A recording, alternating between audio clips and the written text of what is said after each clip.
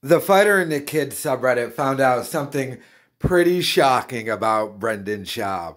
So, as you know, Brendan Schaub caught COVID 19, never really took it seriously. It turns out he got PPP bailout money. So, this guy posts on here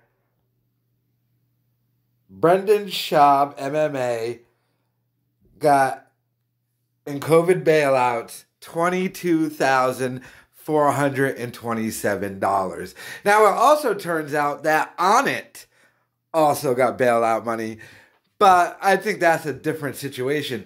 There's no reason for Brendan Schaub to get bailout money. What what business has Brendan Schaub had to close? He still goes to the same studio. Um, I guess you can make an argument he can't do stand up gigs. However, I don't think you get to apply for PPP bailout money because you can't do stand up. That's weird. I mean, the only loss Brendan Schaub has had is Brian Callen, but that's about it.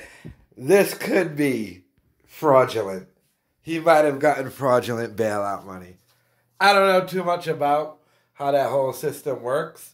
But getting 22, I would assume for because he couldn't do stand up, still doing his show and all his podcast. He's still working for Showtime. I don't know. Let me know your thoughts in the comments.